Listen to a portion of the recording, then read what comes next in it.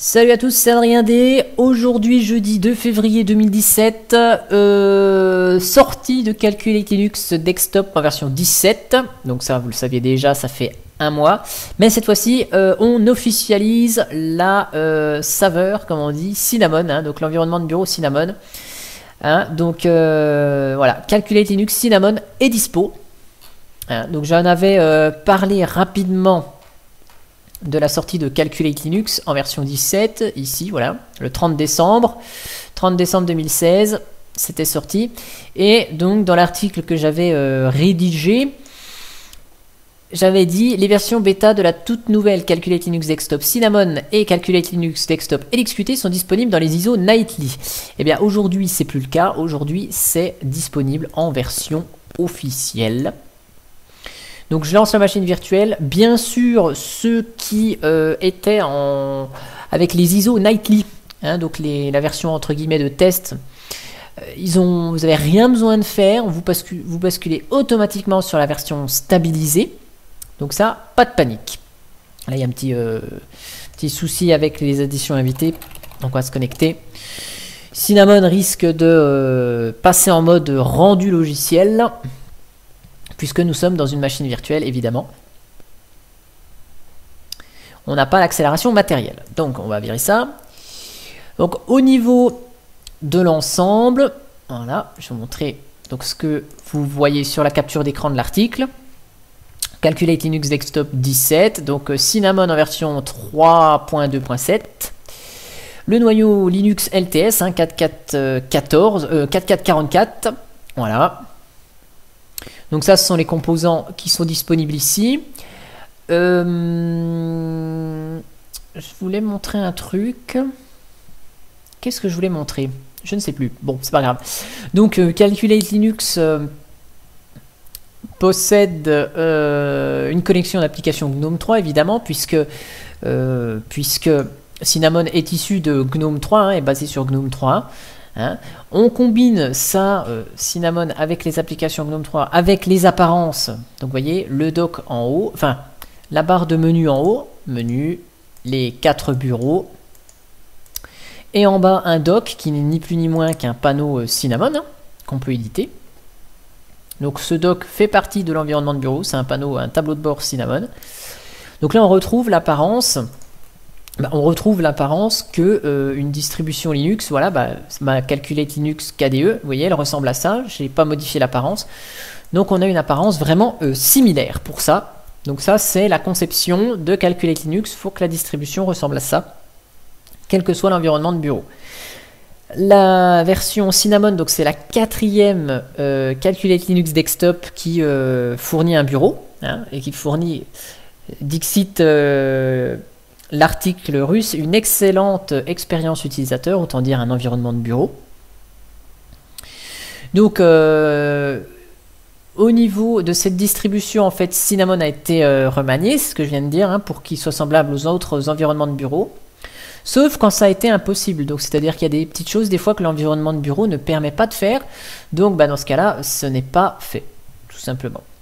Par exemple, ici, le menu, on ne peut pas voir le menu traditionnel puisque Cinnamon a ce menu-là.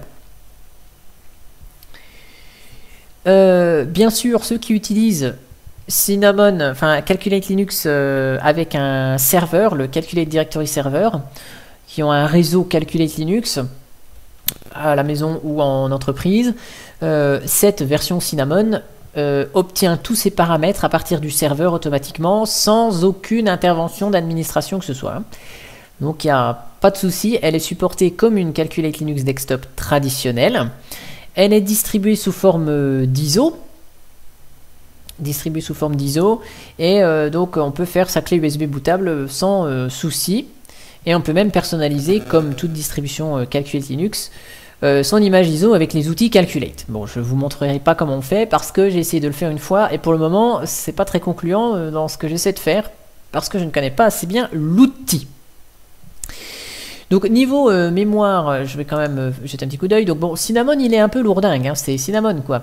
Donc ici, vous voyez, on a quasiment 1 giga de RAM qui est pris par l'ensemble. Le processeur travaille pas mal parce que on, a, on est en mode rendu logiciel. Et vous voyez ici, Cinnamon prend pas loin de 370, 400 mégas de RAM à lui tout seul. On a tous les services évolution derrière qui tournent.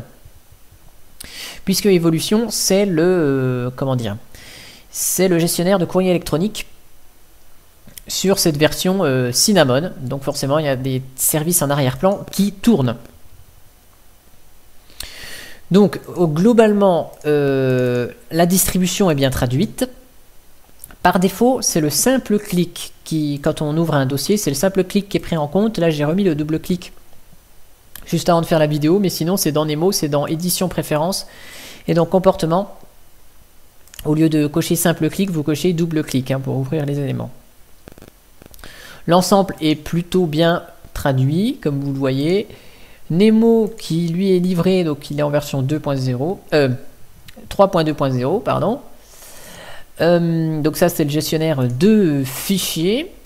Au niveau des accessoires, donc on a tous les outils euh, GNOME, hein, donc la calculatrice euh, GNOME. On a Gedit, donc l'éditeur de texte. Voilà, de GNOME. Donc vous voyez, ça c'est les applications, ce sont les applications GNOME, GNOME 3.20. Derrière, au niveau donc de la bureautique, on a LibreOffice. Hein donc qui est en version, bah, comme, euh, comme les autres éditions Calculate Linux, en version 5.2.3.3. Voilà. Traduite en français. On voit ici quand même que le thème euh, s'intègre vraiment bien dans l'environnement de bureau. Le thème est sympa.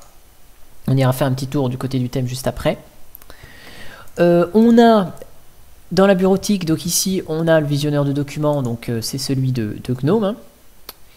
Ici, à propos. Voilà, donc c'est euh, Evans, je crois, son nom. En version 3.20. Donc c'est le kit logiciel GNOME 3.20. Et évolution, donc ici le courrieleur. Alors ce qui est dommage, c'est juste que je n'ai pas d'adresse euh, email, donc euh, c'est compliqué de vous montrer comment fonctionne évolution. Voilà. Au niveau du graphisme, donc on retrouve l'outil de numérisation Simple Scan, si on a un scanner. Voilà. Donc ça c'est cool. On a le visionneur d'images, donc la visionneuse d'images de GNOME, qui elle a un thème sombre. Et puis on a GIMP.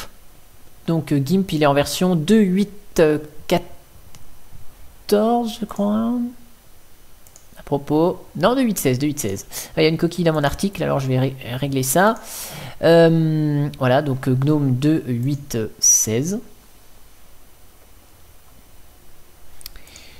Dans la partie internet, donc on retrouve Deluge comme client BitTorrent, messagerie instantanée Pidgin pour faire du chat. On a Remina, pourquoi pas, pour se connecter à des environnements de bureau distants. On a Mozilla Firefox, donc qui lui est disponible en version 50.1, je crois, avec remarqué par défaut le bloqueur de pub uBlock Origin. Donc ça c'est vraiment très merde, très appréciable.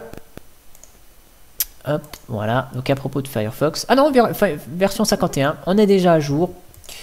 Euh. Voilà. Euh, au niveau des modules, donc on a, comme j'ai dit, la présence de bloc origine par défaut. Ça, c'est vraiment un très très gros plus. Voilà, thème par défaut. Plugins, donc on notera euh, l'inclusion par défaut de Flash Player, ce qui peut être pas mal dans certains cas, même si ça déplaît à certains libristes. Il y a quelques sites qui ont encore besoin de Flash Player comme Deezer, le site de musique euh, en streaming Deezer, ou des outils par exemple métiers tels que la console web de VMware, euh, vSphere Client, vCenter, pour se connecter euh, à une infrastructure VMware. Voilà. Donc ça c'est pour le petit côté professionnel. C'est d'ailleurs juste pour ça que me sert Flash Player, c'est pour VMware à titre personnel. Voilà, donc on a Polari ici. Donc Polari, c'est le client de euh, IRC.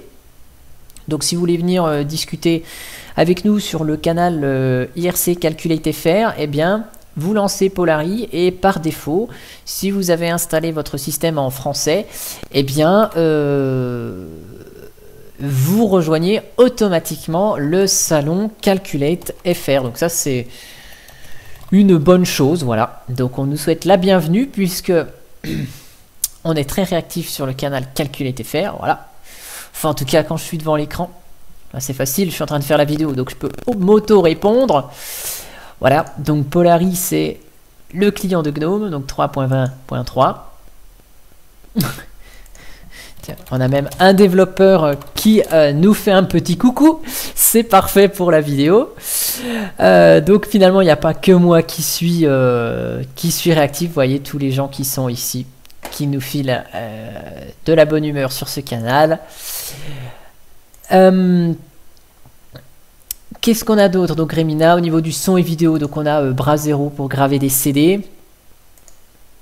Voilà. Donc on a des, le graveur Brasero, ça peut être utile dans certains cas, notamment pour moi qui ai encore un lecteur CD dans ma voiture. Rhythmbox pour, euh, pour euh, l'audio, voilà. Euh, et Totem pour les vidéos. Voilà, bon voilà, il n'y a pas de vidéo à jouer.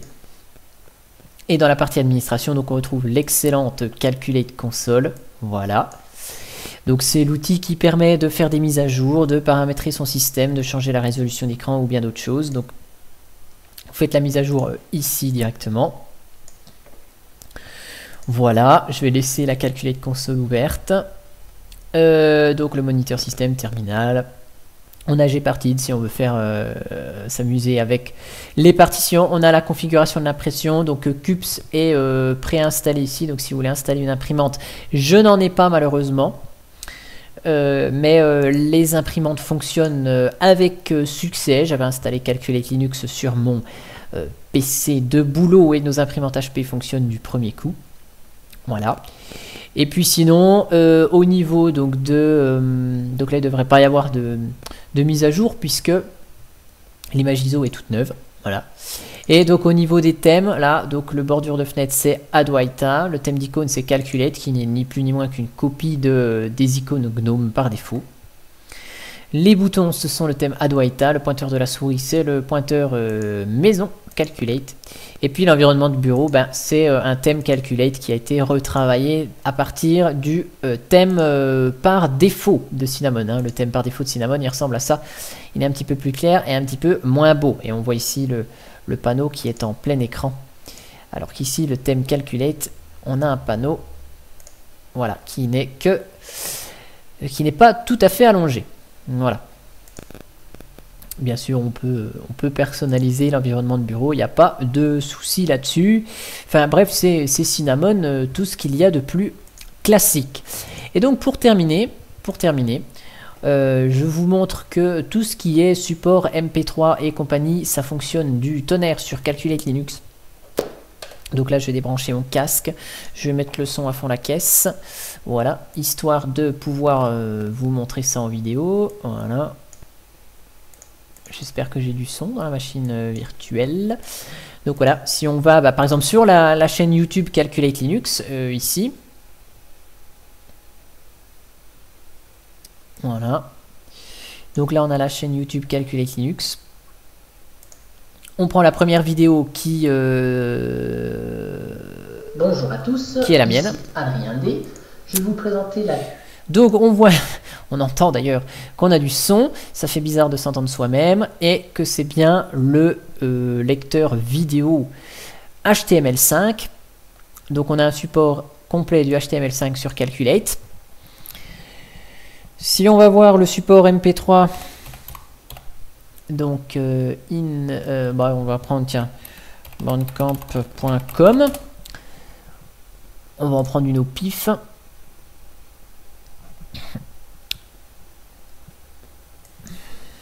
bandcamp.com voilà si on met non, si on met si on met pas les si on met pas les trucs dans le bon sens ça va pas le faire du tout. Voilà, donc on va taper comme ça.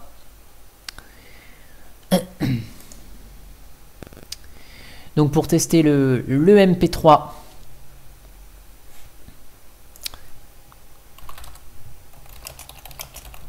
j'écris juste un petit mot. Donc si on veut euh, tester le MP3, euh, normalement, euh, j'espère qu'on peut écouter. Voilà, je prends le premier. Voilà. Donc le support fonctionne parfaitement bien. Hein. Et euh, donc si on prend un petit album de musique, altermusic.org, voilà, et qu'on prend un album au pif, on va vérifier en fait que le support MP3 fonctionne avec euh, Rhythmbox, même si euh, Rhythmbox j'aime... Oula, ça a été vite. Même si Rhythmbox je suis pas vraiment fan de ce logiciel, mais c'est celui qui est... Euh, c'est un logiciel gnomesque, donc c'est normal qu'il soit ici. Donc, euh, gestionnaire archive. Ah Eh ben ça, par contre, ça va être sympa de, demander qu'ils nous mettent les plugins là pour extraire ici. C'est un petit manque là, on va demander qu'ils s'ajoutent ça par défaut, ça serait sympa. Donc ça, je le balance dans euh, musique, voilà. Donc, maintenant on va ouvrir Rhythmbox.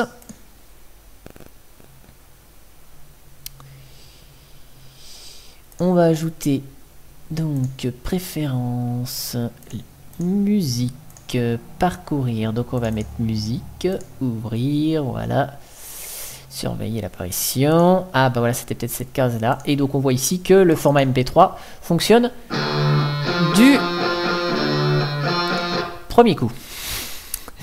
Voilà, donc euh, RAS, rien à dire, bien sûr, quand Rhythmbox est en route. Alors attendez, je vais le relancer.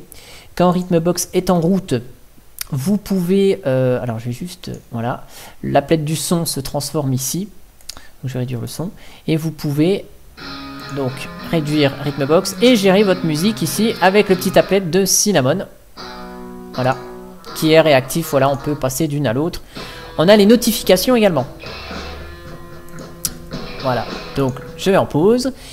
Tout ça pour dire que la Calculate Linux Desktop Cinnamon, eh bien, c'est une Calculate Linux Desktop normale, qui fonctionne avec Cinnamon, qui fonctionne très bien. Et euh, voilà, j'ai rien à ajouter, si ce n'est que si vous êtes amateur de Cinnamon et que vous aimez bien cet environnement de bureau et que ça vous manquait euh, sous Calculate Linux parce que vous utilisiez euh, Maté en attendant, ou XFCE, et eh bien maintenant vous pouvez vous faire plaise et installer cette euh, édition euh. Voilà, et ça marche très très bien pour ceux et celles qui le souhaitent. Voilà, donc la vidéo est terminée pour ça. Et euh, ben moi je vous souhaite une bonne journée, je vous dis à bientôt pour une prochaine vidéo. Hein? Allez, ciao